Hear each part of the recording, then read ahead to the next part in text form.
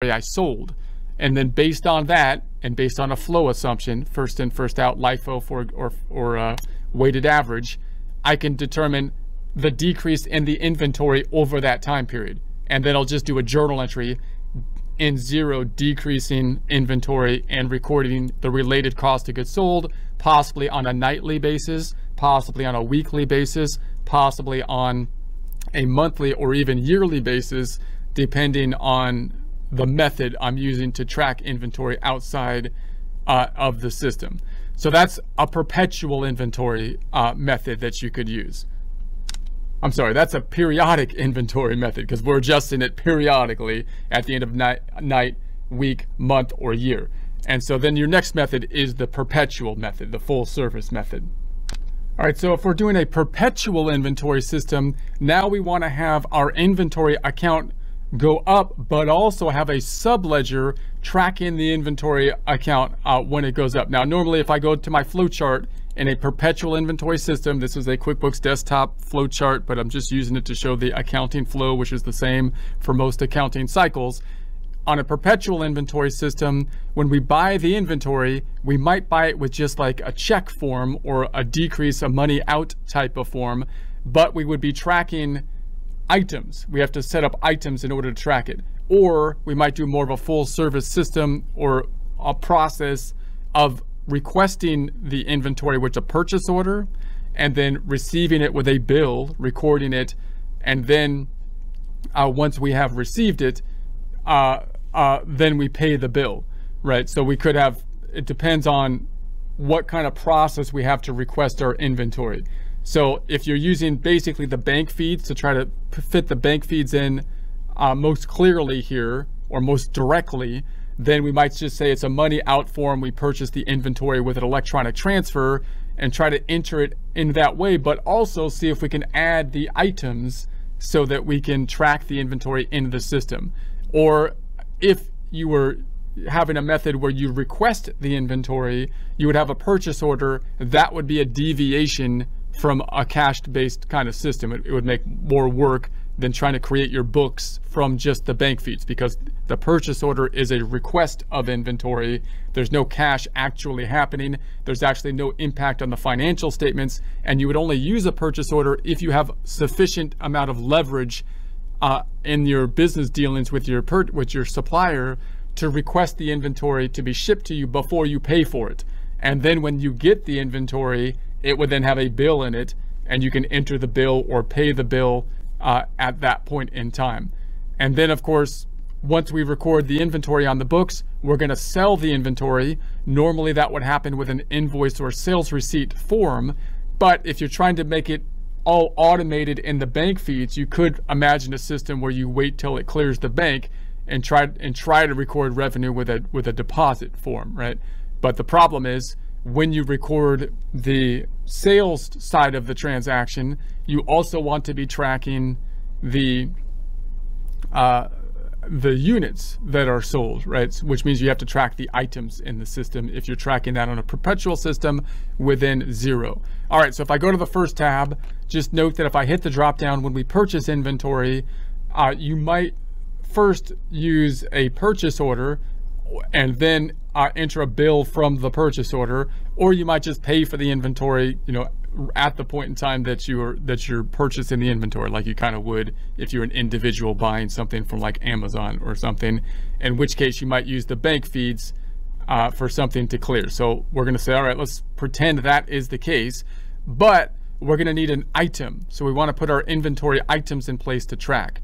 So the items you can find by going to uh, the business dropdown and going to the products and services. So I'm going to go into the products and services and I'm going to set up a service item, the things that are usually populated when I make an invoice or something like that, the things I'm selling, the things I want to be tracking on a unit basis as well as a cash basis. Let's add a new item and I'm just going to say this is going to be uh, it or inventory, let's say inventory item one, just generic name in it. That's going to be the name of it. And the purchase, uh, when I purchase them, I'm going to say that, uh, let's keep, let's keep, see if I can keep it blank so I can purchase it, enter the item when it comes through on the bank feed, see if it allows me to do that. I'm going to say the purchase account is going to be going to, I'm going to see, I'm going to keep the same inventory account. I was going to create two, but let's just put it to that same inventory one account. And then the sales price, let's say we sell them for uh, like $500. Let's just make up a number here. Sales account. So the sales account, notice I have two sales accounts. This one uh, is usually sales often refers to selling of inventory items versus service items which have no inventory. And then if there's taxes involved in with the sale, like a sales tax or a usage tax, then you could set up your taxes as well. And that also, uh, the taxes also muddy up the ability to be able to make sales by waiting till something kind of clears the bank because uh, because the taxes themselves is going to be an accrual type of thing. You're going to have to put something on the books as a liability. We might talk about that a little bit more later, but let's go ahead and save that. So now we have our item. So now let's go into our banking again, account our accounting drop down bank accounts. And let's go into the drop down here and go into account transactions. And I'm going to go into the reconcile item. I'm going to look for a transaction on 10 17 next. 1017 I had a transaction I wanted to look for. So here's the one. So I'm going to say that this this was for the purchase of inventory. So let's go ahead and add the details on this one. And I'm going to say this is Primerica 01 again so it's going to go to Primerica uh, let's just say to Primerica. All right, I already have this one in there. Let's keep that. And then the reference is good. Now it gives me the ability to add an item here. So I'm gonna say, okay, let's see if I can add an item. There's item one. And notice it's removing the dollar amount. I tried to not put a dollar amount in the item so that it would keep the dollar amount here that we're that we have uh, on this side, but it's not doing that because it's gonna use zero as the item. So I could still say, okay, let's just say the unit the unit price was 30 and that's going to bring it back up to the 30 amount here. So that looks good. Before I do this, let me just change that item back. So I'm going to I'm going to go back to the item again, business drop down. Uh, hold on a second. Business drop down. I'm going to go back to products and services. I'm not going to record this one and I'm going to put that $30 as the cost. So I'm going to go into this item and let's say that we want to edit the item and let's put that cost of $30. So it makes sure that it tracks the $30 cost. So there it is. Okay, so I'm just adding the $30 cost. Now let's go back into the accounting. Let's go back into the bank accounts.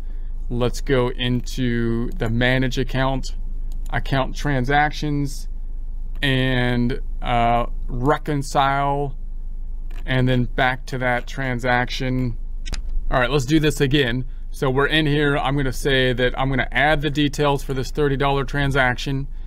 And okay, da, da, da, and then I'm going to add the item. And so now when I select the item, there it is. It's pulling in that $30. Now, if you were to, do it this way, you'd have to make sure that whatever the item, whatever you purchase down here, you would have to actually fill in the items that match the total dollar amount of the $30. So still, this would be still kind of logistically difficult because most likely what what that what you would want to do is uh, is go up top and enter you know the purchase order and then the spend money form and use the bank uh, reconciliations to reconcile the transaction. But it is, I just want to show that it is possible uh, to do it, to, to run it this way. So because you can, because it has the item field, which again is a little bit different than some other softwares. I'm not sure if that capacity is in like like the QuickBooks Online. So it's kind of interesting, and I kind of kind of like that they have at least the ability to do that in here. So what are we going to do when this happens? It's going to record the inventory is going to go up by 30 just like before uh, and we're going to record a decrease to the checking account, but also we have another account that will be created, which will track the units of items that we're purchasing as well.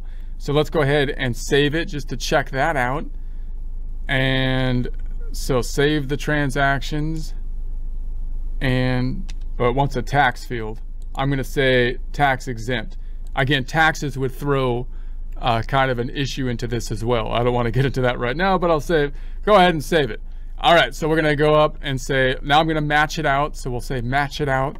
And then, so it's been reconciled. If I go to the balance sheet and check it out, we have our inventory account now has $80 in it. That first transaction was not being tracked perpetually. The second one was.